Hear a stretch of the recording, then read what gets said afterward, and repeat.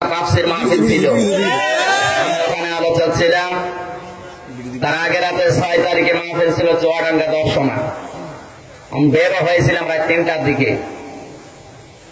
দর্শনা পর্যন্ত রেল গেটে এসে আমার গাড়িটা ডাকাত আক্রমণ করে সবকিছু নিয়ে গেছে। আমার শালা ছিল সাথে ওর মাথার উপরে এমন বাড়ি দিয়েছে চারটা শিলায় জায়গায় এত রক্ত বের হয়েছে কি অবস্থা সেই অবস্থায় ফেলে ফেলে রেখে শুধু বাড়িতে পৌঁছিয়ে ডাক্তারখানায় সেলাই গুলো দিয়ে চলে এসেছে। বাড়ি থেকে আসতে দিচ্ছিল না। যেহেতু কোরআনের কথা বলা লাগবে, দাওয়াত নিয়েছে এক বছর আগে, আর এটা আমার দায়িত্ব। কুমিল্লার নাম শুনলে আমি এমনি ছেড়ে ফেটে চলে আসি। বাংলাদেশে সবচাইতে বেশি কোরআনের জন্য পাগল এই কুমিল্লার মানুষ। আসার পথে এই বারো তেরো জন ডাকাত আমাদেরকে ধরে, ওকে এমন মারা মেরেছে বিবেক কি বলে আপনার বলেন তো? শ্বশুরের একটা ছেলে। ওরে বাড়িতে না পৌঁছে আসা যায়?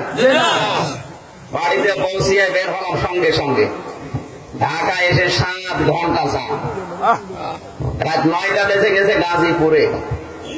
এখানে আসতে আসতে রাত সাড়ে বারোটা। সাড়ে বারোটা পর্যন্ত মানুষ থাকবে।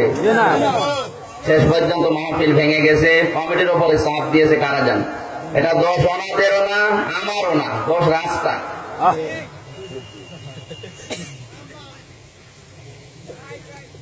সম্মানিত ভাইরা পরবর্তীতে প্রশাসনের উপরে দোষটা কারা দিয়েছেন জানি না প্রশাসনের তো দোষ না।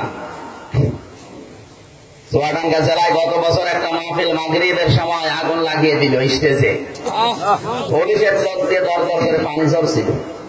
আমার বলছে হুজুর কিচ্ছু করার নেই। কিছু রাম বাম ওপর থেকে চাপ দিচ্ছে। আমাদের কিচ্ছু করার নেই, আমরাও মুসলমান। কোরআনের এই স্টেজ আমাদের ভাঙতে মনে বলে না। যারা ভেঙেছিল, কোরআনের মঞ্চ ভেঙে দিয়ে রাত এগারোটার সময় নর্দকে এনে গানের অনুষ্ঠান দিয়েছে। সকাল বেলায় যেই লোকটা এই কাজ করেছিল, থানা থেকে পুলিশ নিয়ে এসে